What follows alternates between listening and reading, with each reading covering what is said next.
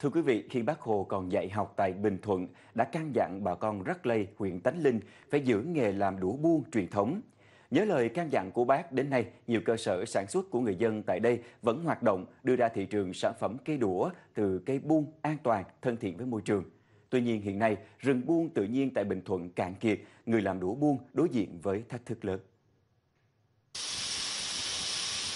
Hợp tác xã đũa buông Thái Nguyên là một trong số ít cơ sở tại xã Suối Kiết vẫn giữ nghề truyền thống. Để làm ra những đôi đũa buông của đồng bào Rắc Lây, phải chọn sóng buông già có tuổi đời 50 năm, trải qua các công đoạn khác nhau từ cắt gỗ, làm nhám, rồi đánh bóng bằng sáp ong mới hoàn thành các đôi đũa bền đẹp. Đũa từ sóng buông tự nhiên không sử dụng hóa chất, không bị mối mọt nên rất được thị trường ưa chuộng. Cái cây này cái thứ nhất là cái chất liệu nó rất cứng độ bền nó rất cao.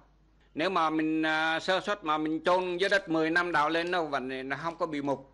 À, cho nên là là là là nó rất quý. Sơ chế xong là mình chỉ bỏ một tí sáp ong cho nó nó mướt để mà đến bóng. Ừ, cho nên khách hàng họ rất ưa chuộng. Các cái cửa hàng ngoài hà bắc à, ngoài bắc là họ lấy rất nhiều. Đũa buông được ưa chuộng nhưng theo người dân tại suối kiết Hiện nay rừng buông tự nhiên cạn kiệt, các cây buông chỉ sống rải rác. Thiếu thốn về nguyên liệu, nhiều gia đình bỏ nghề, cả xã chỉ còn 5 gia đình sản xuất đũa truyền thống. Hiện nguyên liệu phải nhập từ các nước khác khiến chi phí sản xuất tăng. Thực ra là trồng là ương giống trồng là chưa được, nói chung là chưa có ai là nghiên cứu để trồng được cái giống này hết trơn á. Nên cái diện tích mà buông hiện tại bây giờ của xã Suối Kiết ừ, nói chung của huyện Tánh Linh đó, thì nó giảm đi rất nhiều, nó khoảng còn khoảng là hai ba mươi phần trăm. Cũng theo người dân, mặc dù Ủy ban nhân dân tỉnh Bình Thuận rất quan tâm cấp cho hợp tác xã Thái Nguyên 1.000 hecta đất để trồng buông, giữ nghề truyền thống, nhưng cây buông khó trồng, ươm cây không mọc. Chính vì vậy hiện tại các cơ sở phải phụ thuộc vào nguyên liệu nhập khẩu từ nước ngoài.